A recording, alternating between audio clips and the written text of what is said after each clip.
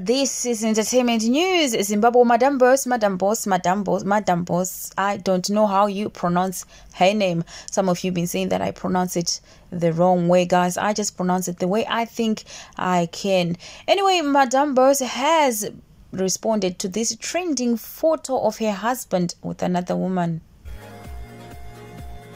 Well, alright, this photo of Madam Boss's husband was trending on social media. Some were saying it is Mofela and his new woman somewhere in Europe living their best life.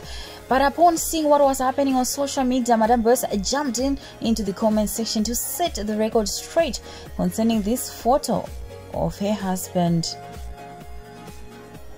Well, upon realizing that people were now speculating lies about this photo of her husband, Madam Boss jumped into the comment section and, and commented what she said.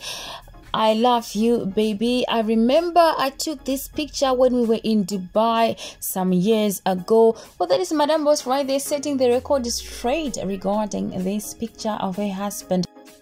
Well, alright, Madam Boss wants you to know that she is the one who took that picture and nothing is going on between that woman and Mofela.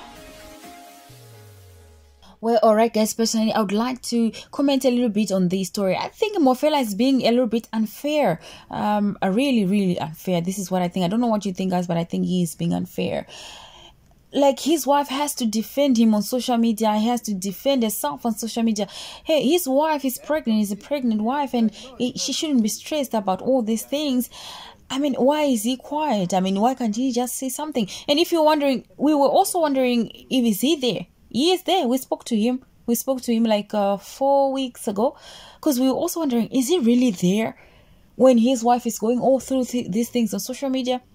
So we did spoke to him and uh, we didn't say much and he didn't want to say much either from the look of things.